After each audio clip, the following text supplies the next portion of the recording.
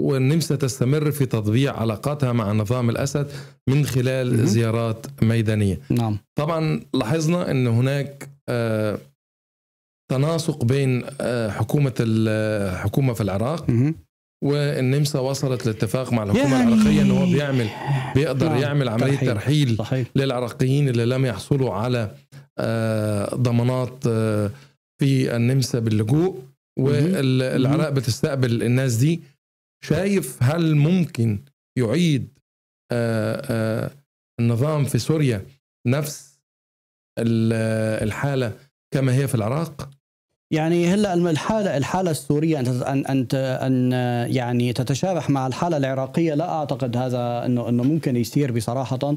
لأن الحالة السورية معقدة للغاية خاصة أنه حتى الآن لا يوجد أي تغيير سياسي. ولكن يعني هذا هذا هذا هذا التغامز التي تقوم به النمسا كل الحين والأخرى بالتواصل مع ال- الهيئات والمؤسسات آه، نظام الأسد الإرهابي المجرم الذي قتل ما يصل إلى أكثر من مليون شخص وضربهم بالكيماوي والعديد من ال- الأسلحة وإضافة لمئات آلاف المعتقلين. وتقوم النمسا بكل بساطة تحاول يعني إنشاء علاقات طبيعية. يعني ال- السيد السيد شو كان اسمه؟ آه، بيتر السيد. السيد بيتر. كرويتس بكل بساطة يعني عم بيروح على مؤسسات بتمثل هذا النظام هو بس تواجده بهذه المؤسسة وياخذ صورة يعني بصراحة هاي الصورة المهينه المهينة للغاية مع أحد الراقصات المحسوبين على نظام الأسد بصراحة يعني شيء مؤسف بحق النمسا النمسا دولة الديمقراطية دولة حقوق الإنسان أن يقوموا بهذا الشكل يعني بصراحة يعني يعني مع الأسف السياسة النمساوية الخارجية من سقوط إلى سقوط ومن انحطاط إلى انحطاط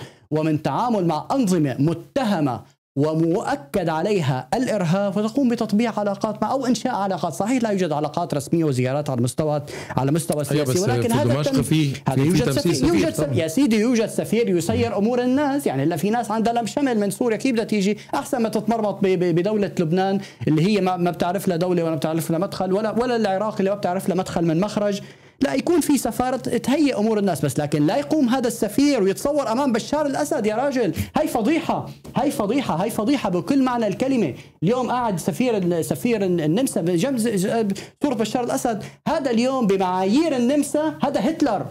بمعايير النمسا بشار الأسد لا، هتلر. بس- ولكن عندما تقوم ازدواجية المعايير بهذه الطريقة صراحة هنا هنا أعتقد أن النمسا آه، من مستنقع إلى مستنقع ومن عمق إلى عمق في حال استمرت بهذا الطريقة. وهذه رسالة رسالة أنا أقولها وأتحمل مسؤولية كلامي.